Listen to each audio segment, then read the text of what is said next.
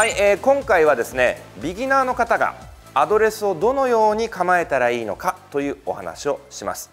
えー、このようにですねゴルフクラブルールで14本入れることが許されています、えー、ドライバーヘアウェイウッドユーティリティアイアンウェッジパター、まあ、それぞれいろいろなクラブがあります、えー、この14本のクラブはですね長さも様々です。そのため体からボールまでの距離そして用途に応じてスタンス幅アライメント。こういったこともですね全て変化していきます。まずですねドライバーとウェッジ。こんなに長さが違うわけですね。これは最も飛ばさなければいけないクラブ。そしてこちらはグリーンの近くからアプローチを打ったりバンカーを打ったりするようなクラブです。ですから用途に応じてアドレスが変化をするということをまず覚えていく必要性があります。はい、えー、まずはドライバーからご説明します、えー、ドライバーはですね最も飛ばすクラブです、えー、また他のクラブと違うのは T を高く置くことです、えー、だいたい目安としてはこのドライバーヘッドの一番上の部分からボール半分程度出る高さ。これを一つの基準にしてください。非常にボールを飛ばすことができるポジションになります。そして向きですが自分が打ちたい方向これをターゲットラインというふうに言います。このターゲットラインに平行にスティックを置きます。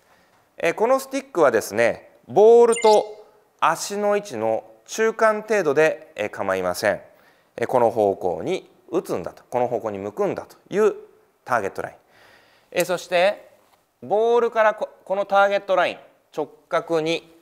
結んだ線を置きます。まあ、あまりボールに近づけすぎると非常に危険ですのでえボールからこのスティックまでの距離をある程度え距離を取るように心がけてください。えこれで準備完了です。左足をこのオレンジ色のスティックの場所に左足かかとを置きます。そして肩幅より若干広くですねスタンスを取ります。えこのようにすると頭のま左側ですね。左耳もしくは左肩ぐらいにボールのポジションを感じるかもしれませんがこの位置が正しいポジションです。ですからスタンス幅がここなのに頭がボールの上になったり右足の上にならないように気をつけてください。そしてグリップのポジションは左打ち太ももです。そして後方から見た時にはまず気をつけをしてお尻骨盤部分から軽くお辞儀をします。そして膝はですね曲げるんですがちょっと緩める程度です。ですから曲げを感じる程度深くはやってはいけません。今私が取った構えを皆さんは真似をしてください、えー、これが正しいドライバーのセットアップです。えビギナーの皆さんはぜひですねかっこいいアドレスを目指してください。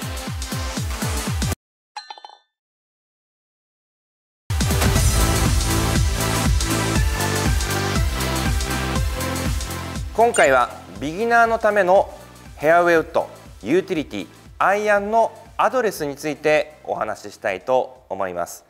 えー、初心者の皆さんはアドレス非常に悩まれると思います、えー、ただ基本的にはですねシンプルに考えていただくのが一番だというふうに思います。えまずはですね自分が打ちたい方向これターゲットラインと呼びます。ターゲットラインと平行にスティックを置きます。えあまり近づけすぎるとビギナーの方だとこのスティックが邪魔になったり怖くなったりしますのでだいたいスタンスとボールの中間にこのスティックを置いていただければガイドになると思います。えそしてボールの位置からこのターゲットラインに平行に置いたスティックに直角にですねスティックを置きます、まあ、この時気をつけていただきたいのがスティックがあまりにもボールに近いとですねやはり危険ですのでボールから距離を取ってですね、え安全を確保してください、えこれで準備完了です、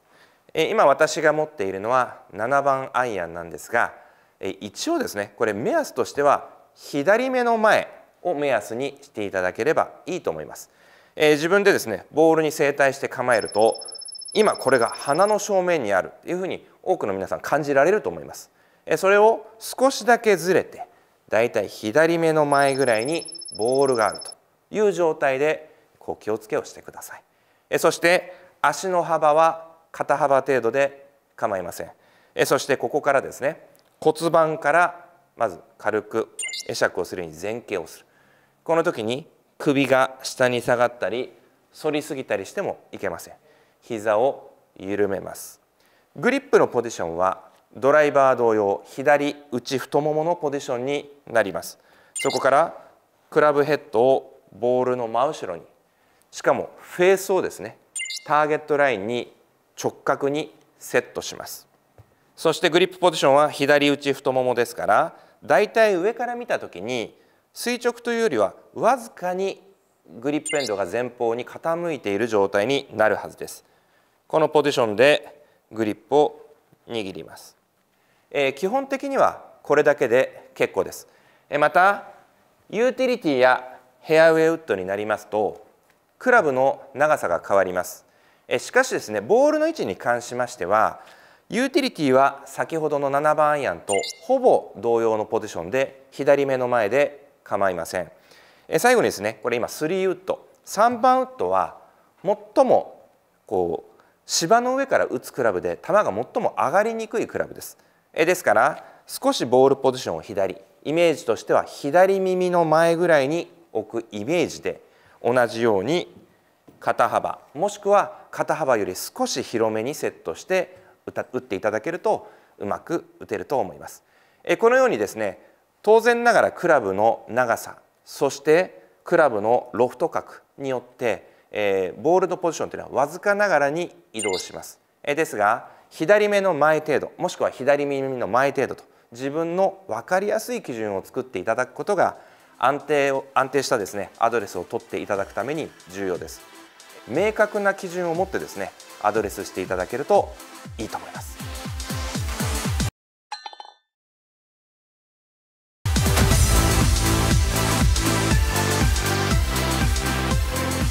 はい、えー、今回はですねビギナーのためのパターアドレスについてお話ししたいと思います、えー、パターはですね14本のクラブで非常に特殊です、えー、グリーン上で使い、えー、そしてボールはほとんど浮かずに、まあ、転がっていくというのがパターの特徴です、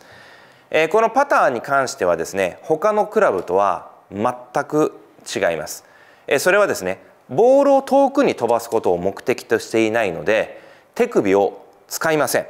えなので手首を押さえるための仕掛けアドレスが必要になります。えそれでは早速説明していきましょう。えショット同様ですね非常に重要なのはこのターゲットラインなんです。えただパターの場合には当然ボールが傾斜によって曲がってきますよね。えですから打ち出す方向というのは最終的に曲がってカップインをするその方向に対して構える必要性があるわけです。ですからこのターゲットラインの考え方もスライスラインであれば左に打ち出す。フックラインであれば右に打ち出す準備が必要です、えー、そして、まあ、その打ち出す方向に対してですね平行にこのスティックを置きます。ボールとスタンスの中間にこのスティックを置いていただければ結構です。えそしてこのようにですねこのターゲットラインに直角にですねもう一本のスティックを置きます。このポジションとしてはですね両足のつま先がこのターゲットラインに平行になります。またボールの位置はですね左目の前を基準にしてください。このポジションですね、えー、そして非常に重要なのがクラブの置き方です、えー、パターのソールですね。底をですね地面にきっちりと着想します。これが先端部が浮いたりヒールが浮いたりしないように必ずソールをきっちりと地面に着想すること。これが非常に重要です。そして正面から見た時にクラブが垂直ではなくわずかながらに前方に傾きます。本当にちょっとです。ですからこのグリップのエンドの部分がボールの真上に来る程度わずかですよね、えこの程度前方に傾けます。このクラブを全く動かさずに握ります、え、これの時にですね後方から見た時にこのシャフトの角度と右肘のラインがまっすぐなるように握ります、え、これはですね皆さん構えた時に鏡などで確認をしていただければいいと思います。